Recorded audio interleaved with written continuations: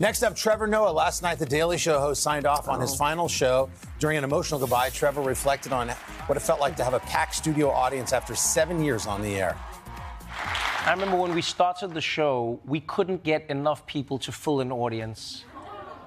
And you know, I always think it's good. That's how comedy is, funny enough. I remember all my shows, people didn't, there weren't tickets, at, you know, everyone, there were empty seats. Um, and, then I, and then I look at this now, I don't take it for granted ever. Every seat that has ever been filled to watch something that I'm doing, I always appreciate because I know the empty seat that sits behind it. Trevor went on to give a touching shout out to his mom, grandmother, and the black women who have helped shape his life. And by the way, starting on January 17th, The Daily Show will start to do a rotating cast of guest hosts. They already include Leslie Jones, Sarah Silverman, John Leguizamo, Chelsea Handler, as you see there, just to name a few.